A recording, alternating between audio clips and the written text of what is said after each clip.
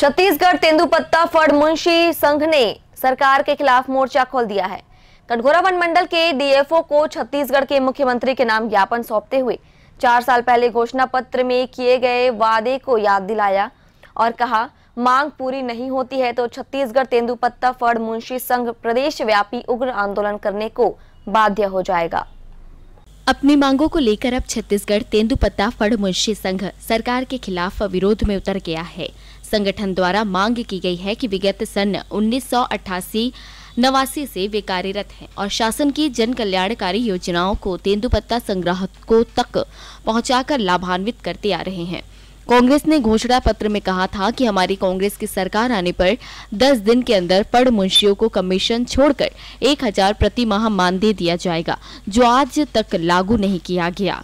Katghora DFO को मुख्यमंत्री के नाम ज्ञापन सौंपते हुए उन्होंने कहा कि हमारे भविष्य एवं जनहित को ध्यान में रखते हुए अपने कार्य पर कार्यरत रहते हुए हमें हड़ताल की आवश्यकता नहीं है और कहा कि आपके द्वारा अपने घोषणा पत्र में किए वादे को अमल में लाए। अन्यथा, छत्तीसगढ़ तेंदुपत्ता, फड़ मुंशी संघ को प्रदेश व्यापी उग्र आंदोलन करने के लिए बाध्य होना पड़ेगा। हम लोग का मांग ये है कि जो छत्तीसगढ़ सरकार है, अपने घोषणा पत्र में यह घोषणा किया था कि यदि हम लोग का सरकार आता है तो 10 दिन के भीतर में फल मुंशियों का मांग को पूरा किया जाएगा। और आज चार साल बीत चुका है।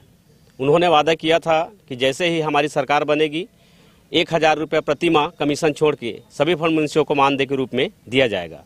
लेकिन आज तक के उस विषय में किसी प्रकार की कोई अमल नहीं किया गया। इसलिए हमारे जितने भी फल मुंशी भाई हैं बड़े दूर दराज से यहाँ पर आए हैं और आज हम एक सूचना के रूप में गुड़वाना भवन से वन मंडल कार्यालय गए थे, जहाँ पर डीओफओ महोदया एवं यूनियन जिला अध्यक्ष महोदया इनको विज्ञापन के माध्यम से यह जानकारी दिए कि हमारी जो मांग है, उसे सरकार तक आप पहुंचाइए।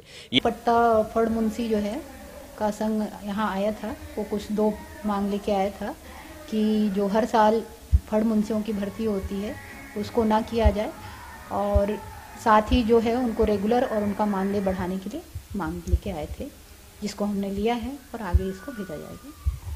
छत्तीसगढ़ सरकार पहले ही कई विभागों के कर्मचारियों की हड़ताल से जूझ रही है, जिसमें आंगनबाड़ी कार्यकर्ता, संविदा कर्मचारी संघ सहित अन्य विभाग के कर्मचारी शामिल हैं। इस कड़ी में अब पड़ मुंशी कर्मचारी संघ भी जुड़ गया है।